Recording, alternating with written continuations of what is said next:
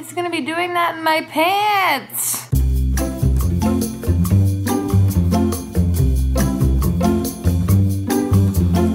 My name is Merle. My struggle and the reason that I am shamelessly here, aside from the fact that I'm not planning a career in politics, is the fact that I actually do have a multitude of issues waking up in the morning.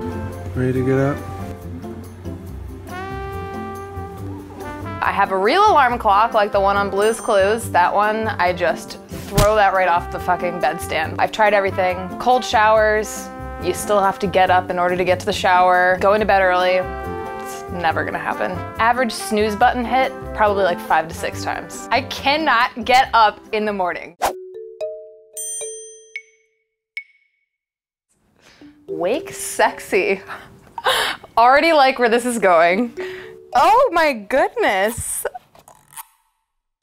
I don't know what these things are. These like fallopian tube or like like lips, whatever this is. This looks kind of like a little mini speculum. It goes just directly under your vagina, but like I thought it was gonna go inside my vagina. So I mean, kind of weird to say, a little disappointed. Slip little rooster into the front of your panties and adjust it until it feels comfortable. Alarm. Little rooster's vibrations start five minutes before alarm time. Smart, they know me. And then the power slowly increases. You can choose the maximum power in setup. I know already I'm gonna need the maximum power in setup. This is gonna be a great experience, I can already tell. My biggest fear is that I can even escape a vaginal alarm clock and everyone's gonna know.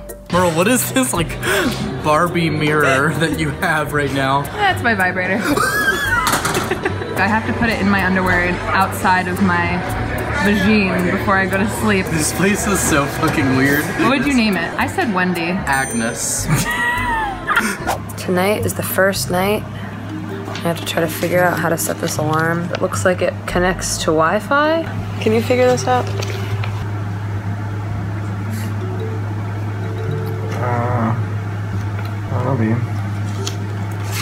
Great. What time is it right now in military time? 2243. So hot that you know that.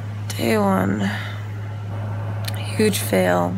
I was supposed to be up 45 minutes ago.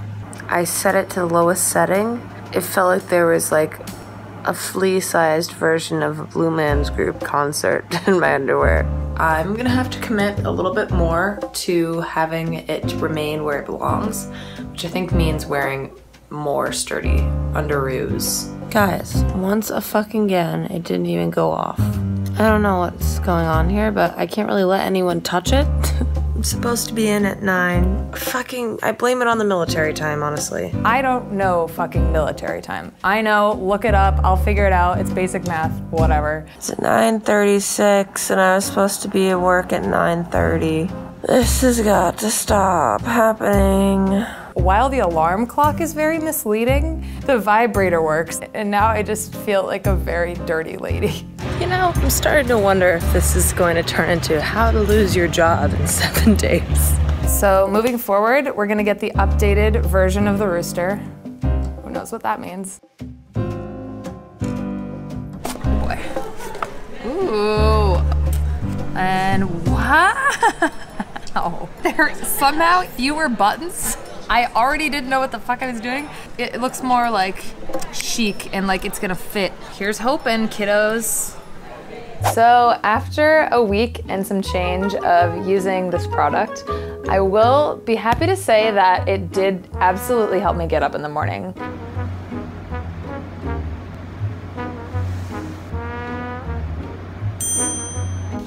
All right, this is the first time that this has actually worked. It starts really, really slow and then it like builds to a crescendo. But it's nice that they ease you into it. It wasn't just like I was sound asleep and all of a sudden it's like like electrocute your clitoris. It was like a slow build.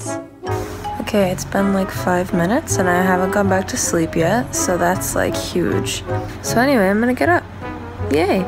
It definitely made the beginning of my day a little like saucier. Walking to the subway as always, and I can't help but think that everybody I walk by knows what I did this morning. feel refreshed, feel awake, feel a little dirty. The first one was like the WALL-E. It's very square. It didn't comfortably fit. I felt like I was like defiling a Disney character that I love. The second version, sleeker. Um, it was more likely to stay in place. I'm not gonna lie, like the mornings have been much more interesting. I don't know, it makes you feel some kind of way when you're woken up by a vibrator. Personally, I'm a fan. I don't know if I would have believed it from someone else, but I'm definitely gonna keep using it. And now I have two, so like I don't know what I'll do with those, but we'll find a use for them one way or another. I don't know, I'd be curious to see what else Little Rooster comes up with in the future. Where else they can put vibrators, we'll have to wait and see. I'll probably end up in that video too, Lord knows.